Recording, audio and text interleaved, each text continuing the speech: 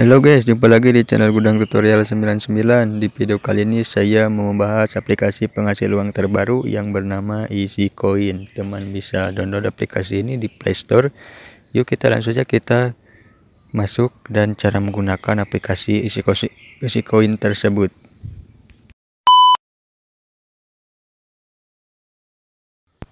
Oke, kita lanjutkan. Kita langsung saja masuk ke aplikasi Easy Coin tersebut teman bisa coba dan download aplikasi ini melalui Play Store ya. Kita masuk ke aplikasi isi coin tersebut. Ini tampilan beranda dari aplikasi isi coin ini terdapat koin-koin di sini untuk menyelesaikan misi-misinya ya. Teman bisa memilihnya terlebih dahulu. Di sini adalah untuk aplikasi untuk memainkan untuk mendapatkan poinnya mainkan minimal dua aplikasi untuk mendapatkan 20.000 koin. Jadi 10.000 itu setara 100 rupiah ya. Nanti akan mendapatkan memainkan dua aplikasi 30.000 koin.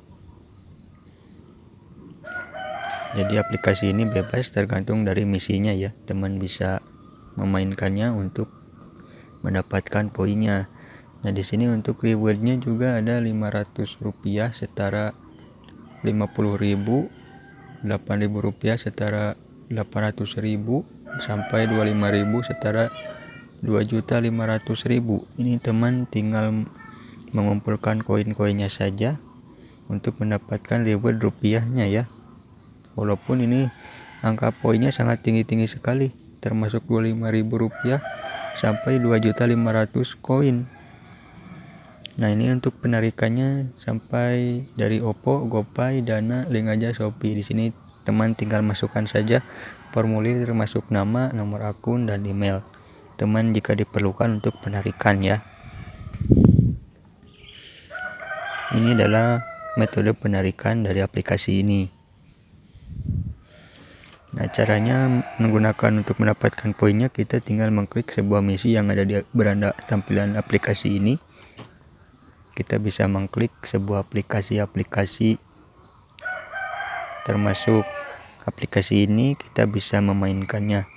Kita diarahkan terlebih dahulu ke aplikasi Play Store untuk menginstal aplikasi tersebut dan memainkannya dengan waktu tertentu kawan. Nah kita secara otomatis diarahkan ke Play Store untuk menginstal aplikasi tersebut Di titik tiga ini ada bagian kebijakan pribadi, ketentuan layanan, dan menghubungi customer ya. Di bagian titik tiga ini.